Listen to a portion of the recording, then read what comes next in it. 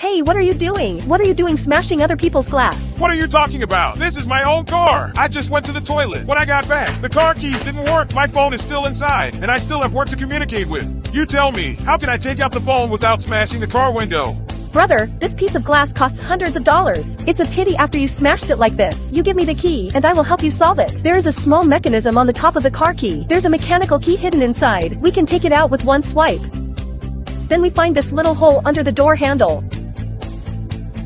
Gently pry. The lock cylinder is exposed. Then we put the mechanical key in. Twist gently.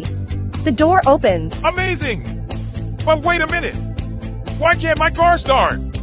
It's because your car key is out of battery. Come down. Our cars have emergency start, usually just under the steering wheel. See this sign? Let's stick the key in and start it again. I can drive in one go.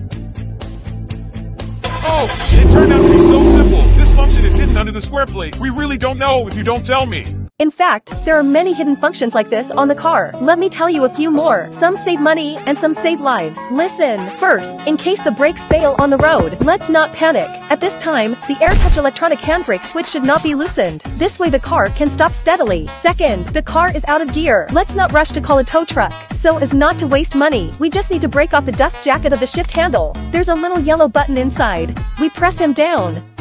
You can switch gears at will. Third, can save lives at critical times. We're stuck in the car and can't get out. At this time, we must not panic. Put down the rear seats first, then climb into the trunk. There's an escape switch on the trunk. Look at this little cover. Turn it on. There is a white organ inside. We toggle it up.